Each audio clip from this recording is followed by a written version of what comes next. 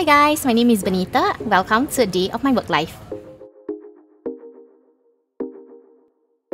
I manage a team of relationship managers and provide support in terms of client management. Basically, I'm like their work mama and they can always count on me for help.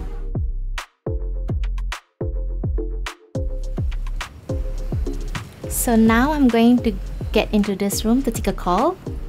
As part of my job, I coach new hires to guide them through different stages. Today, it will be Dawn who just ended her in-house training. Oh, she's here. Hi Dawn, how's everything? So good to see you. That's the beauty of being in the heart of Orchard. Lunch options are plenty. Now, let me show you what I'm having for lunch today. Sushi. Currently have a couple of items on my agenda. I'll need to work on a report for my meeting later and perhaps schedule a call to my relationship manager Cheryl who is back from her two weeks break. I hope I do have time to clear some emails after. Hey guys, say hello to my vlog.